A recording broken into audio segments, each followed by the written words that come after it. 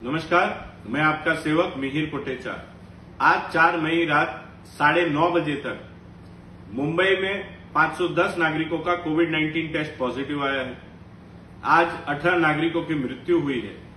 आज हमारे मुलुंड में 60 नागरिकों का कोविड 19 टेस्ट पॉजिटिव आया है। इनमें से 50 नागरिक ये मुलुंड पश्चिम के रहने वाले हैं। 10 नागरिक मुलुंड पूर्व के रहने वाले हैं। पश्चिम के 50 नागरिकों में से 36 नागरिक यह एक ही बस्ती के रहने वाले हैं, जहाँ पिछले कई दिनों से केसेस हमको मिल रहे हैं। छह नागरिक ये दूसरी बस्ती से में रहते हैं, जहाँ पर हमको केसेस मिल रहे हैं, और तीन नागरिक ये तीसरी बस्ती में रहते हैं, वहाँ पर भी हमको केसेस पॉजिटिव मिल रहे हैं। कुल मिला के आज तक 123 कोविड 19 टेस्ट पॉजिटिव मुलुंड में आए हैं।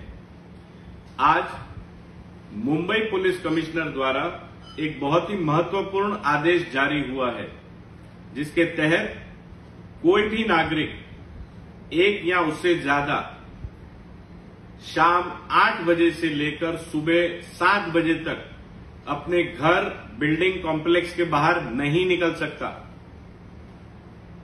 मात्र और मात्र मेडिकल इमरजेंसी से ही आप घर के बाहर निकल सकते हैं। यह आदेश 17 मई तक लागू रहेगा।